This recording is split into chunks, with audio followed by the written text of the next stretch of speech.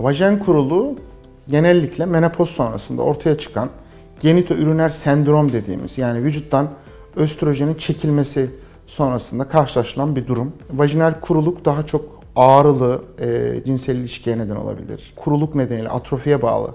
Yani aslında hem östrojen yokluğu hem de dokuların bir tık e, yaş almasına bağlı ortaya çıkan bir durum. Vajinal kuruluğun en önemli nedeni menopoz sonrasında değişen yeni hormonal denge yani östrojenin azalması, doku yanıtının ortaya çıkması ile ilişkili.